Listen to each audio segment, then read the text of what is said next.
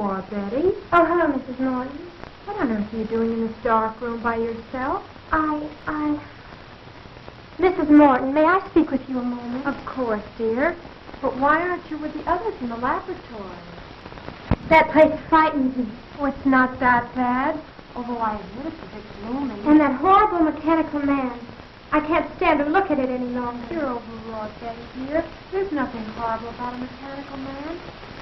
Frank has been working on it for two years now, and Jim has been helping him for a year. I know, Mrs. Morton. And I don't approve of James going any further with this. But why, dear? Oh, I know it's silly of me to feel this. But not everything was so weird.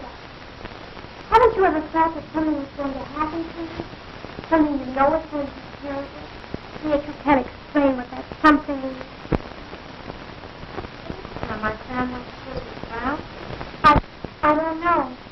But somehow I have a feeling I'll never manage it. Betty, I've never heard you talk this way all the time I've known you.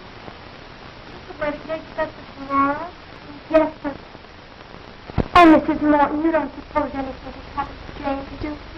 I mean, could anything possibly go wrong with the experiment tonight? Of course not, dear. Why are you afraid, Betty? I don't know. I just can't stand to have a mechanical uh, man look. I have a feeling it has a before. What's absurd? It's just a girl that knows school. There's no power to think for her. I could swear I've seen it look at me with feeling and stuff. Almost as if it was sneering. That's what the place has Well, I'll go back to the room. Yes, thank you. What's the matter, child? You're trembling. Oh, I'm sorry. I'll be all right. I will. You go on back, and I'll be down short.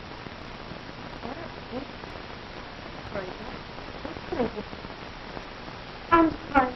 West. I'll be my brother. You go. That's it.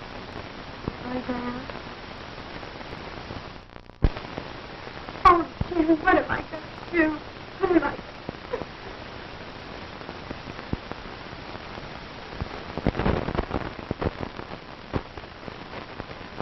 There we are.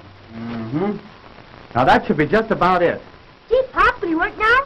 I hope so, son. Oh, Uncle Frank, are you going to make him walk? Yes, in a few moments, Janet. Oh, I'm so excited. Good. Will he be able to talk to Uncle Frank? Of course not, silly. Uncle Frank told you that 20 times yesterday. No, Mary's right, Janet. You see, this is just a mechanical man. He won't be able to talk. That's about the only thing he won't be able to do, though, Janet. You're right, John. The doctor's mechanical man will be able to do about everything a human being can do, except talk. How do you feel now that your work is about completed, Frank? Wonderful, Jane. And I want to thank all of you for standing by me. You've all been a great help. And without you, I don't know what I'd have done. Well, it isn't every day that one has a distinguished brother who invents a mechanical man. And I certainly appreciate the opportunity you've given me, Dr. Morton, by allowing me to assist you in the experiment. That goes for me, too, Dr. Morton. Well, I've learned more in the past month than any of my college classes taught me. You're all very kind. But our work isn't finished yet. We still have a few more things to do. And then we'll all know whether our time has been wasted or not. I'm afraid Betty doesn't share our enthusiasm for the mechanical man, Doctor. Yeah, and she was crying when she left. How do you know? I saw her and she had her handkerchief up to her eyes. Crying? No, what on earth for? The girls are right, Dr. Morton. My sister seems to feel there's something wrong in what we're doing. But that's foolish. There's nothing to be afraid of. I know, Dr. Morton, but Betty is a very sensitive girl. She feels that we're exceeding our limits. I'm sure she'll feel differently when she sees the results. Perhaps I'd better go to them. No, James. I know my sister pretty well. It'd be better to leave her alone for the time being. When I can going to time out, Pop? Patience, son. Patience. Now, so hand me that iron, John. This one? Right. Mm-hmm. Won't be long now. When do you think you can try it out, Frank? Uh, just as soon as Mrs. Morton returns. Uh, by the way, James, where's Betty? She went upstairs a few minutes ago, Dr. Morton. Said she had a headache. Gosh, she's going to miss all the excitement. Well, when we're ready, you can go get her, Barry. You bet I will, Pop.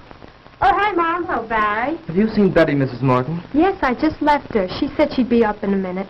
They were just telling us Betty disapproves of our experiment. Oh, I think the storm has her on edge.